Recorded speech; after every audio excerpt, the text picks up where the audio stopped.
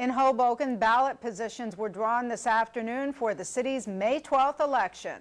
Jeff Hennig has the details. Many of the candidates running for mayor and council at large attended this afternoon's ballot drawing at Hoboken City Hall. One by one, City Clerk Jimmy Farina pulled the names, starting first with the mayoral candidates, then moving on to the council hopefuls. For mayor, Councilman Peter Cammarano drew column 1A, followed by Rin Melberg in 3A, Thomas Vincent in 5A, Councilwoman Dawn Zimmer in 7A, Councilwoman Beth Mason in 9A, and Frank Orsini in 11A. There is really no hard and fast evidence that you know having that preferable uh, ballot position is going to result in a in a in a, uh, a, windfall vote or anything like that. But there's certainly a lot of anecdotal evidence that it does.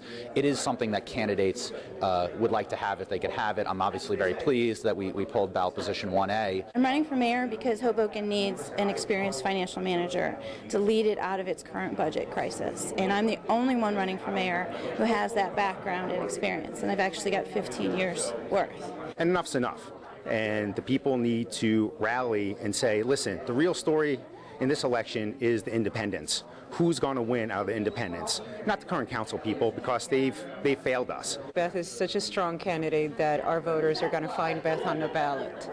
Uh, we are happy that the slate is together, as is allowed, and, and that's really all that was important to us because we believe we're a team. We're a team of four people. The mayor is on one side of the ballot, the council slate is on the other side of the ballot. I'm a complete outsider. I don't have any uh, ties to any political campaigns. I don't know anyone favors.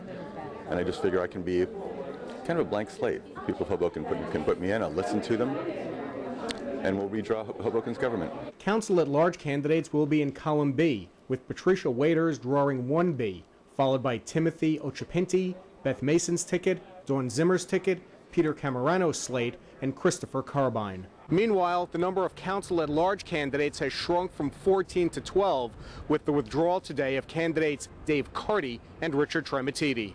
I'm undecided who I want to support, but I dropped out because uh, campaign funding, uh, the energy and time, and uh, running against two organized teams is very difficult. Polls open at 6 a.m. on May 12th. At Hoboken City Hall, Jeff Hennig, Neighborhood Journal.